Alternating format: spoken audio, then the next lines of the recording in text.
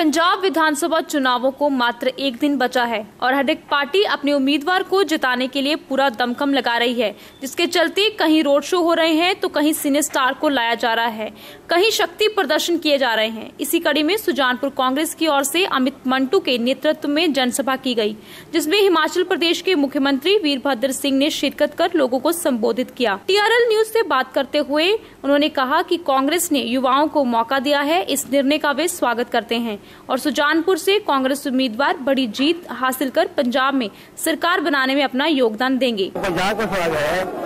सारे पोल जो है वो कांग्रेस की जीत को बता रहे हैं और निश्चित रूप से यहाँ पर कांग्रेस की विजयी होगी और सरकार जो है वो कांग्रेस में बनेगी स्वागत करता हूँ युवाओं को आगे जाना चाहिए मैं समझता हूँ कि सुजानपुर हल्के से एक युवा कैंडिडेट को लाकर तो पंजाब सरकार ने अपनी दूरदर्शिता जो है कांग्रेस के कांग्रेस से अपनी दूरदर्शिता का पैकेज दिया निशा प्रभा टीआरएल न्यूज़ पठानकोट।